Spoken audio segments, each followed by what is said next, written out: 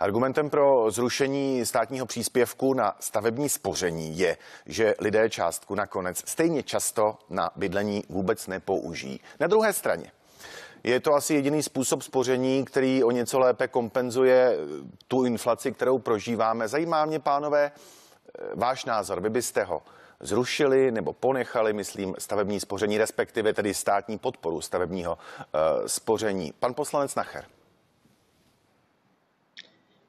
Já bych to ponechal, případně vylepšil, pak řeknu jak. Myslím si, že zrušit tuhle tu podporu je za mě nesmysl, je to podrývání vlastně důvěry v finanční produkt, kterým, kterému lidé věří a který má jasné podmínky, jasná kritéria. Tady vlastně z toho státního rozpočtu eh, nemůže nikam uplynout se ztratit na cestě ani koruna. To jako, když se hádá koalice s opozicí, jestli dálnice byly drahé, jestli se to dalo udělat nějak jinak, jestli má se udělat výběrové řízení na to či ono, tak tam se o tom můžeme bavit. Ale u stavebního spoření je to jasně dané, že to je na jednorodné číslo, tam prostě nemůže ten stát vydat ani o jednu korunu více. To znamená, tady, tady ty výdaje státu, nebo vlastně ta vratka eh, tomu občanovi, eh, který si spoří, který si spoří, tak je úplně pod kontrolou. Tohle to rušit mně přijde, eh, mně přijde skutečně jako špatné rozhodnutí. Rozumím. O čem se dá hovořit a o čem já tady mluvím už roky, a kolegové z pěti koalice mě ale neposlouchali, protože v té chvíli to pro ně asi nebylo důležité téma je, pojďme třeba si říct, že by se ta, ten státní příspěvek vázal na skutečně na to použití na ty stavební účely, ať už jde o nějaké rekonstrukce, renovace eh, nebo pozdější nějaký úvěr eh, ke koupi nemovitosti, ale potom, pokud by se to takhle vázalo přímo na to využití pro to stavění, tak potom bych já ale byl proto, aby ten příspěvek byl větší. To znamená, pro ten státní rozpočet by se v té chvíli nic nezměnilo, ale skutečně by to bylo konstrukčně navázáno na výdaje spojené s bydlením. Ano. Tak to jsem ochoten se o, tom, o tomhle bavit, to má nějakou logiku, ale přijít a takhle to škrtnout, to si myslím, že je špatná cesta. Stejná otázka pro europoslance eh, Tomáše Zdechovského. Měl by stát dál podporovat stavební spoření? Tak já už, když eh, s tím přišel vlastně Andrej Babiš a potom Alena Šilerová, že by bylo potřeba se opravdu na to stavební spoření kouknout, tak já jsem s tím souhlasil. Já myslím, že tady měli uh, bývalí ministři uh, financí za hnutí ano pravdu, že oni argumentovali tím, co tady zaznělo, že ty příspěvky nejsou vlastně využívány na bydlení, že to je takový nadstandardní spoření, že to je každý rok, jako kdyby vám stát poslal 18 tisíc nějakou dávku, buď to ji využijete, nevyužijete, je plošná, nemá nějaký speciální zacílení a já souhlasím s tím, že prostě to stavební spoření, tak jak je dneska uděláno, se prostě přežilo a ekonomicky ani nedává jako v tuhle chvíli smysl. Já si myslím, že pojďme se bavit o nastavení, o těch parametrech. Tady já třeba s Patrikem Nachrem hodně věcích nesouhlasím, ale tadyhle ho beru jako velmi konstruktivního partnera a ekonoma, se kterým by jsem si dokázal jakoby představit diskuzi o tom, jakým způsobem výrazně pomoci vlastně rodinám k dostupnému bydlení. A to si myslím, že, že je otázka, která nás bude čekat a tady čekám, že i opozice se s koalicí konstruktivně zapojí do této diskuze a možná i třeba na pražské radnici budete tenhle ten problém řešit a myslím si, že eh, Praha s vládou by měla se snažit najít nějaký způsob, jak podporovat rodiny a začínající nebo partnery v tom, aby mohli začít někde bydlet. Ano, oba jste se vlastně shodli v tom, že říkáte, vláda by podporovat měla tu snahu po vlastním bydlení a tak dál ale možná trochu jinak. A pokud by tedy vláda stavební spoření zrušila, bylo by na místě, kdyby vznikla asi podpora bydlení jiná. Řeknete svoji představu, pan poslanec Nacher? Já bych to právě nerušil. Eh, pojďme se bavit o té konstrukci a když si vyjedete některé moje výroky z dřívějška, dokonce mám pocit, že jsem o tom psal i ve své knize Konec finančních negramotů v Čechách, jo? že prostě ano, je pravda, že ten státní příspěvek vlastně plyne automaticky, bez ohledu na to, jak ty peníze člověk potom eh, spotřebuje, na co je, na co je vydá. To znamená, že ta původní jakoby myšlenka, že stát jako, viz, jako má nějakou vizi, že podporuje občany, aby se starali o svoje bydlení, zvelebovali ho, zlepšovali ho, tak ta vlastně z tohohle z toho jako vypadla.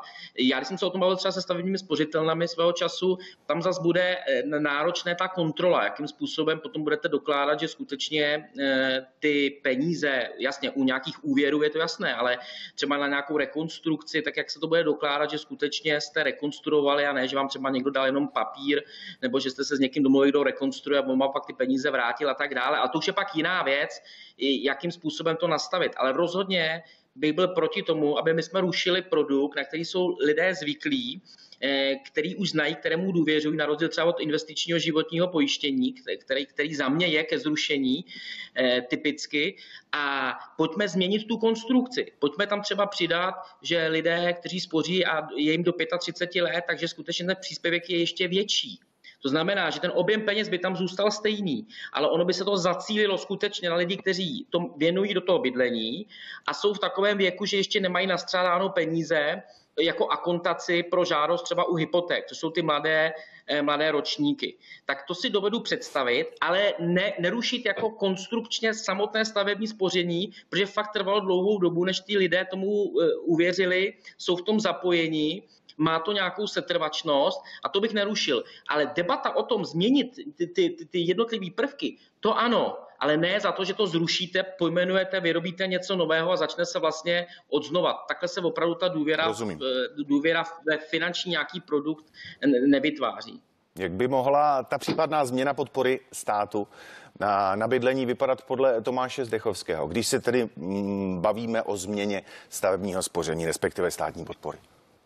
Tak tady se s Patrikem Nachrem neschodneme a to v zásadní věci. Za prvé, eh, banky si dokážou výborně kontrolovat, jestli rekonstruujete nebo nerekonstruujete ten daný byt. Já sám jsem eh, prošel rekonstrukcí, musel jsem si na to vzít normální úvěr od banky a banka opravdu poslala svého znalce do mého bytu, který zkontroloval všechno, zda to proběhlo a ocenil tu nemovitost. A opravdu říkám, tadyhle... Ne, my si nerozumíme, Tomáši. Ne, Patrik, Teďka se bavíme o parametrech. Já si myslím, že oba dva chceme změnit ty parametry. Z toho, co povídáš, tak oba dva cítíme, že stavební spoření se přežilo. Oba dva jestli rozumím a dobře jsem četl tvoji knihu, tak bychom oba dva radši spíš preferovali to, aby se dávali záruky mladým, aby třeba nemuseli ručit nebo nemuseli složit na hypotéku 30 nebo 50% protože nemají vlastně takovou historii, kterou má třeba 40-letý, 50-letý člověk bankovní a prostě najít jiný systém, jak podpořit mladí v tom za A, aby rekonstruovali a za B, aby si kupovali vlastní nemovitosti. A já si myslím, že taková státní záruka nebo nějaký způsob státní záruky, tak to se úplně nabízí a funguje to třeba i v Rakousku nebo, nebo v nějakých dalších zemích a další způsob, který tady se nabízí, tak je to prostě pojďme spojit i tuhle otázku vlastního bydlení třeba se sociálními byty, s městskými byty, s obecními byty, prostě a propojit to všechno dohromady. Patrik Nacher se hlásí. Já, já můžu jenom Můžu na Tomáše, jenom, eh, tak my si tykáme, tak tady nebudeme hrát eh, divadlo. My jsme se právě i u těch produktů eh, finančních jsme se občas potkávali, když jsme řešili finanční gramotnost, ale tady jsem asi nebyl dobře pochopen. U úvěru u úvěru je to samozřejmě e, rozpoznatelné, jestli ten úvěr máte na jaký účel. Já mluvím o tom, že by se ten příspěvek potom použil v momentě, kdy člověk si tam nastřádá 6, 7, 8 let jo, do té cílové částky, ne, neveme si úvěr a pak ty peníze použije nebo nepoužije na, na to bydlení. Takže ne, že to je přes úvěr, ale ty nastřádané peníze. A tam já jsem někde, i dneska napsal na Twitter, tam si dobudu představit, pojďme ten státní příspěvek vázat na to použití těch jeho prostředků na to bydlení. A tam z toho se to už tak nepozná. Jo, nebavíme se o úvěru, ale o těch penězích, které tam člověk má, tak aby mohl opravdu čerpat ten státní příspěvek, že by doložil, že ty peníze, které tam nastřádal a dostal státní příspěvek, že je použil eh, k něčemu k bydlení. O tom já jsem se bavil. A navíc, pojďme to udělat jako modernizaci produktů, nikoliv jako úsporu do státního rozpočtu, protože ona se nebude konat. To tady ještě nezaznělo ve veřejném prostoru, protože ono to má doběh. Vy to nemůžete zrušit zpětně. Vy to nemůžete zrušit pro běžící smlouvy. To znamená, oni doběhnou. Vy to můžete zrušit od nějaké doby do budoucna. Já mám třeba stavební spoření a já ho doběhnu, eh, byť jsem tam už delší než tu vázací dobu těch 6 let, do té cílové částky. Stát nemůže najednou uprostřed retroaktivně změnit ta pravidla. To znamená, on jak to bude dobíhat, tak ten státní rozpočet neušetří. Ušetří za 4, za 5, za 6 let. To znamená, dělat to s vidinou úspor 4 miliardy je, je, je fakt jako mimo. Jo? Když se budeme bavit o modernizaci, rád se toho budu účastnit. Když to bude o úspoře, tak ona není. Ona nenastane, není to možné. To by byly ústavní stížnosti, to by ani nikdo, doufám, ani nebude navrhovat, že by se to jako utnulo teď, teď okamžitě. Ne, to prostě dobíhit, jsou tam smlouvy, je to jasné.